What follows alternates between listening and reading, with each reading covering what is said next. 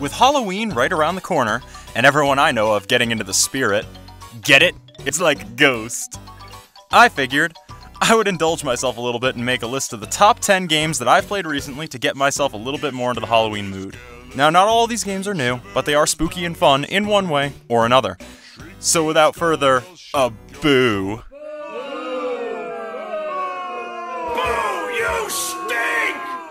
These are the top 10 games to get spooked for Halloween 2015. Number 10 Fingerbones. Now, I only just discovered this game a couple of days before writing this list. In fact, it had a big influence on me making this list to begin with. It's 100% free and available through Steam. It's a horror narrative mashup game that you can beat in probably around a half an hour. It's a creepy and minimalist game that's almost like a playable campfire story or an extremely dark episode of The Twilight Zone. The entire story is told through the scribblings of a madman, and it deals with a really taboo subject matter that's definitely not for everybody. There's a serious content warning with this game, and I urge you to read the description before actually deciding to play. But if you do decide to play, you'll be treated to a truly unnerving, if quick, horror experience. Number 9 Don't Starve. Have you ever wondered what it'd be like if Tim Burton had created Minecraft? That's a bit of an odd thought, but luckily you're not the only person to have thought that. Don't Starve is exactly that game. It's way farther on the survival end of survival horror, but by no means does that mean it isn't creepy. Nightfall brings horrible monsters out to try and devour you, almost everything in the game is hostile, and when you add in the looming threat of starvation, it makes for a tense and frantic fight for survival. Definitely give it a try if you haven't already.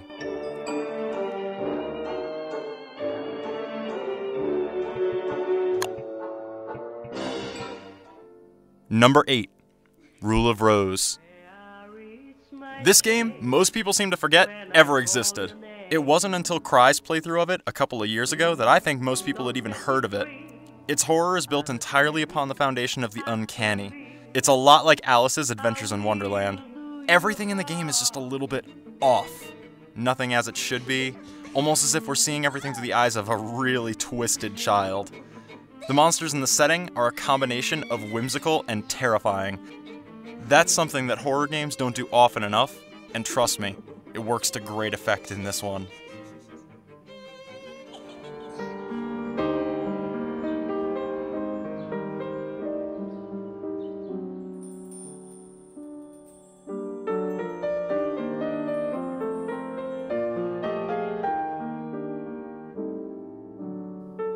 Number 7 Spooky's House of Jump Scares.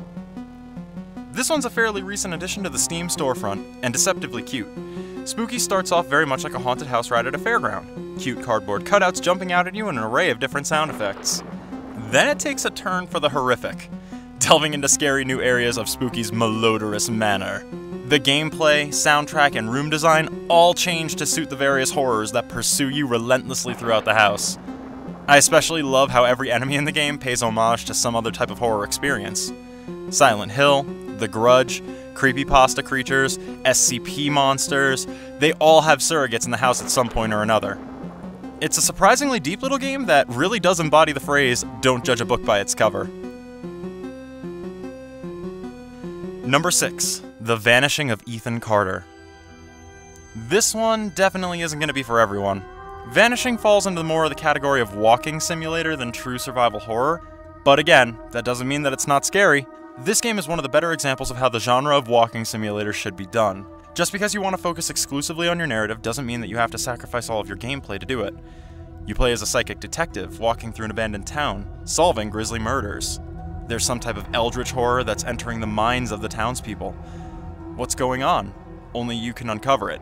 It's a beautiful and haunting game, and it'll have you digging deeper and deeper to try and discover the truth behind what happened on this remote island with this once happy family. Number 5 Lone Survivor. Do you like Silent Hill? Do you like Silent Hill's soundtrack? What about old school point and click side scrolling adventure games? Why haven't you played this game yet? Like Don't Starve, Lone Survivor actually puts a very heavy emphasis on the survival part of survival horror, forcing you to make some really difficult choices that affect the gameplay in numerous ways. Should you sleep through the night instead of scavenging for supplies, meaning you might go hungry for another day? Or do you take those caffeine pills? The side effects are minimal, or so they say. There's audiovisual hallucinations, there's other survivors, and monsters. Maybe. All things said, this game is a more faithful follow up to the Silent Hill series than anything in its more recent release library, and it's totally worth looking into. Number 4 Bloodborne. First off, let me just say Bloodborne is horror. I would almost rate it as the scariest game on this list. It hits every note that a great horror game needs to hit. Scary monsters, check. Creepy environment, check. Tense situations around every corner, check haunting and subtle soundtrack? Check. Major sense of disempowerment? Check, check, and check. Bloodborne is more nerve wracking to play than any of those slender knockoff jump scare fests that seem to come out every other day lately. And it's not even trying to be. Ah, you found yourself a hunter. Number 3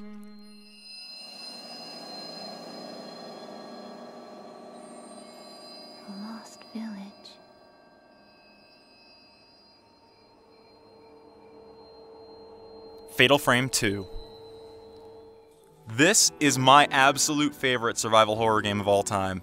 Fatal Frame is the pinnacle of Japanese horror. It takes elements from things like old ghost stories to films like The Grudge and The Ring. It builds tension and unease with its environment and story masterfully. It does stumble a bit in the combat department, but as a whole, Fatal Frame is fantastic. And if you haven't tried them yet, you absolutely should. The first three games are available for download on the PlayStation Store, 10 bucks a pop, and the new one, Maiden of the Blackwater, is coming to the Wii U as a download on October 22nd. I'm so freaking stoked.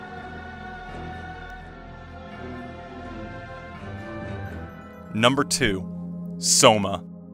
I'll keep this one brief since I did just make a video of it when it came out.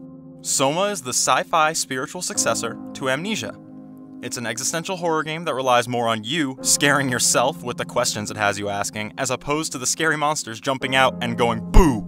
Although I assure you, the monsters in this game are plenty scary on their own. This game gets under your skin and sticks there like a ringworm. It opens so many doors and shows that there's so many more ways to scare the player than just loud noises and deformed monsters. Number 1 SCP Containment Breach. Okay, now this one's an oldie but a goodie.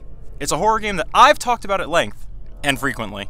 I've noticed lately, though, as I stream more and more and talk with my viewers, that there's still a lot of people who don't even know that it's out. It's a great free horror game, and it's based off of the SCP Wiki. It's a collection of short stories and vignettes written by some really creative people. Now, I've spent hours on the wiki alone, and I've barely scratched the surface of the damn thing. So let's get on to the game. The game functions like one of your typical post amnesia survival horror games. No weaponry, you get labyrinth like, rogue like levels, scary as hell monsters that are constantly nipping at your heels. But the way that SCP differentiates itself from its survival horror kin is in the unique approach to the gameplay. Everything you can do in the game is built around interacting with, or in most cases, running away from, the titular SCPs. Now, I'm not going to go into detail on the mechanics because a lot of the fun comes from playing the game yourself and trying your damnedest to survive against the seemingly insurmountable obstacles that are stacking up in front of you. Don't forget, like I said, it's roguelike, so you're not going to have the same experience the next time you load it up after dying. And it's got multiple endings. I can't spoil those because I haven't seen any of them. This game scares the absolute crap out of me. So if anything I've said about it is intriguing you in the slightest, go try it out. It's free. What have you got to lose?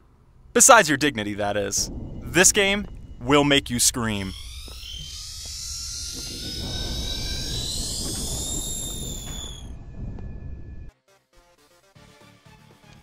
Okay, everyone, thanks for joining me on this one. Kind of a deviation from my usual setup. Uh, not a review or anything like that, just a top 10 feel free to uh, like and comment. You can subscribe to my channel. I'm going to try to do updates more frequently. I just put out a video the other week on Soma, like I mentioned in the video, and you can check it out at this link here. Uh, and let me know in the comments of any games that you guys might play that uh, I might have forgot to put on this list. These are just the things that either I just found out about and really liked or have had in my repertoire or, or, or in my library for years, like Fatal Frame. I play that game every year, honestly. Um, but yeah, comment and let me know what your guys' favorite survival horror games are. Or if you have an idea for a list or something like that, shout it at me. Let me know pros and cons, all kinds of different stuff. I'm open to suggestions. And yeah, that's pretty much it. I will see you guys around next time.